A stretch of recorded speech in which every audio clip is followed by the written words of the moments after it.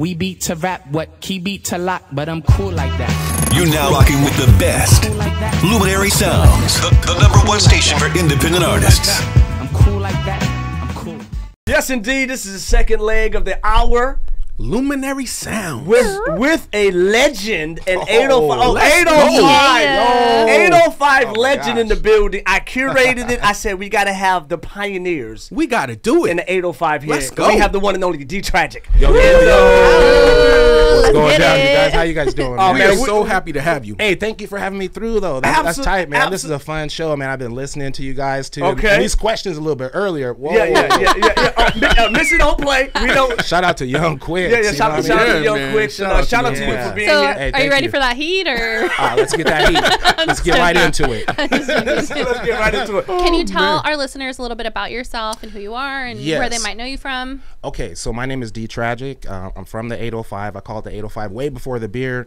Um, I'm, I'm born and raised here in Ventura. Um, I've I've been a DJ uh, at nightclubs, at house parties in Yeah. the hood, you know, parking lot pimping shows, Nice. Yeah. stuff like that. But I've really been an advocate um, for independent hip hop, our local hip hop scene. Sure. Um, I long time ago started out working at a nightclub where I was able to book acts, local acts, independent Nice. hip hop acts to be able to open for big shows. I put together this TV show on shout out to Caps TV Channel Six. Caps. Shout You know what. I mean? It was like one of one of the first places I put together an 805 hip hop show to where we, you know, interview artists and you know just to show love to the 805 hip hop scene. There you go. Um, and you know, it's just through the throughout the years, just been an advocate for this area for independent hip hop artists, and got a website called 805hiphop.com that I started mad years ago. Nice. Before, before social media, just to just to give um, you know artists a, a spot to be able to get get heard and get noticed, and to really promote it outside the 805 due to the rest of the world. Well, it, which is really interesting. I'm not sure if you remember this. I had seen you at Levity Live one time, and I got your number. Yeah. Many years ago, before Luminary Sounds, and I called up DJ D Tragic, and I said, "Hey, man, how do I got an idea? How do I get this thing going?" That's amazing. And, and yes, and he was very kind. I looked at him and Mambo uh, as people that like I got to get with these guys. They know the game. They know the business. And he and he just told me in my ear like, be consistent. You know, it's gonna be hard.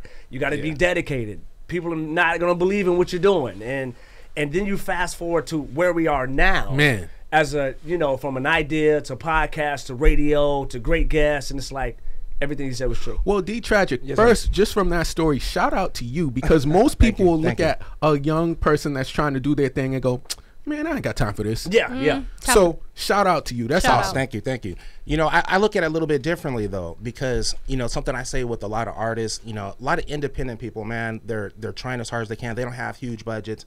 It's almost impossible for them to to break out, get out there. Yeah. You know, and so so when I look at it, I look at it like this. Look it.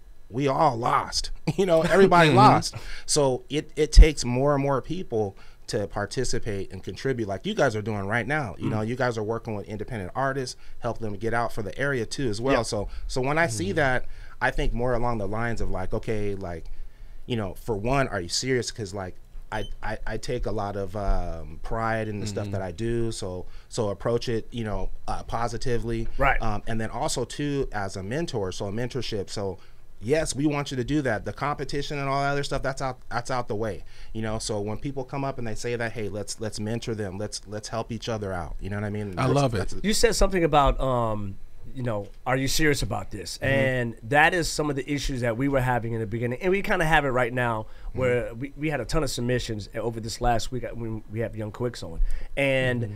we take a look at their content, and it is boo boo. To be straight honest with you, and it's boo boo not because they don't have the talent, Mm-hmm. it's because they're not really putting it in uh, the, the commitment to put in the work, the reels, Yeah. the music, and they're not as consistent. So it's hard for me to say no, and I don't want it to feel like I'm cherry picking who I want to put on because I want everybody. That's what the platform's for. Yeah. But you know, we're still trying to find that median and to be like, well, you're not quite ready because if we put you on the radio and people want to listen to your music, you don't have enough body of work or anything Well, else like that. what about the people that don't like have social media? There are like huge stars and artists that don't have social media. I guess they don't need it because they're they're not independent.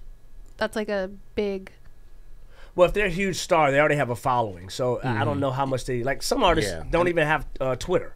You know, and some of them just have Instagram or some have both. So I think if you reach a certain establishment, you know, you don't really need some of those necessary things. But as an independent artist, you need to do everything Yeah. uh, to all and use all the tools. You know, And, and I think, long story short, is um just the seriousness of your craft. Yeah. you know what I mean. Right, Even right. if you don't have social media, there's some people they don't have social media or anything, but you could tell when you're in their presence, they're serious. Well, that's what I'm Like, saying. You know, People who are, are hard workers, Oh, yeah. just because they don't put it on social media, I don't Absolutely. think that is a deterrent as to if they're no, I understand where you're coming good, from too good, as well. good artists and Well, you, you know, know- that will pop. one, one thing I how, how I try to look at it, you know, like I grew up listening to like one certain style of music, like I, like gangster rap was like my favorite, you know. Um, a, as a DJ, a young DJ, like you can't just go out and play gangster rap everywhere you go. Right. You know, you have to listen and kind of diversify. But you know, it's hard. Like for me, like like sometimes when I listen to artists, you know, because I have a hip hop show, so like hip hop songs will play in a hip hop song in a hip hop show. Right. So sometimes I'll get submissions, and I, and I kind of I kind of feel it's hard for me to say you're whack. You know what I mean? Because because Yeah. because mm. like the beauty is in the eye of the beholder. So mm. so now with the internet, like this person that I might never play in the ride, you know, like never play in the ride, mm-hmm. he or she can find people that like their music. Right. So so that's where I kind of say and, and and I I have this thing where I uh, you know I say hey well you either have a huge audience or you have a slim audience, a smaller audience. You know, that's just kind of how I refer to it because you know, you never know what people like, you know, and Yeah. me being a little bit older, um, I might listen to you know people's uh, opinions about new music that's coming out made by youngsters, and try to not be swayed and and like just be locked in a certain way. So. Um, I just try to look at it open minded, not going to it. Like I may not play it in the right, it may not be something I'm listening to. Yeah. But Okay.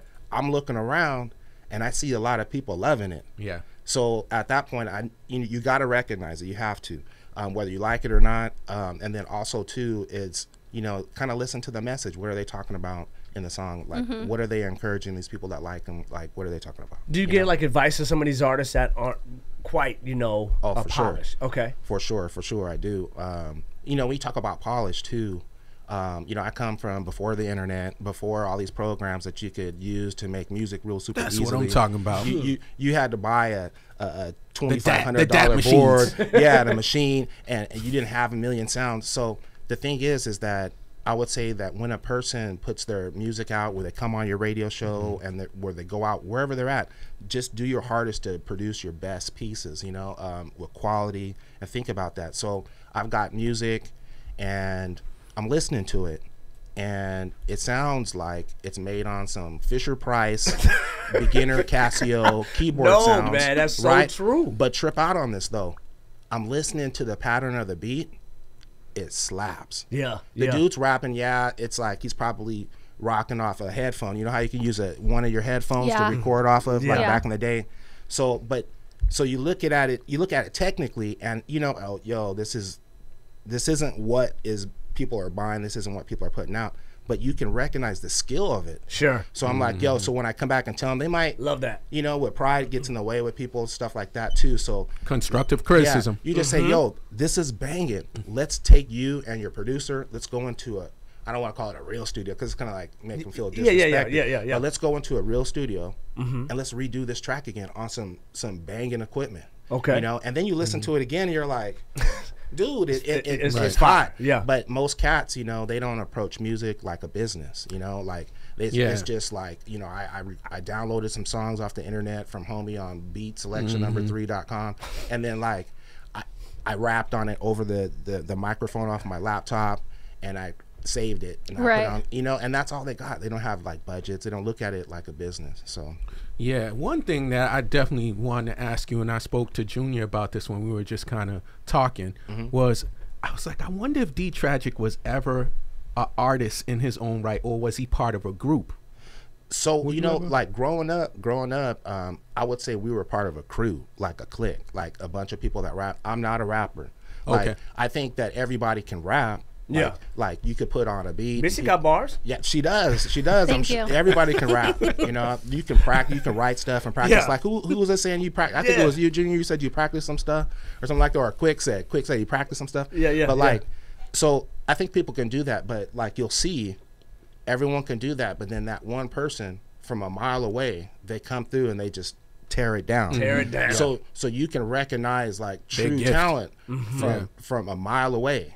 You know, so as much as I'm on the turntables and I got DJ Fred, the kid, little 13 year old, come over my pad, Yeah. get on my stuff, just tear it down.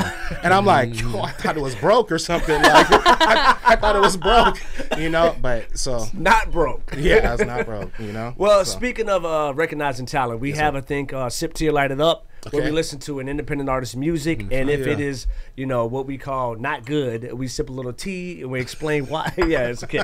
We explain why it's not good. If it is great, Or if it's not to your it's liking. not to your liking. Okay, We, okay. you know, but if it is good, we, you know, light it up. Just like you're saying, let it- everybody listen. it- Yeah. it's all in everyone the eye of the beholder. yeah, You it do. So It this is. this is not a hip hop song, but it's Okay. R and B, so we'll, we'll see. Okay. uh, This is gonna be by uh, Summer Break uh, Alameda.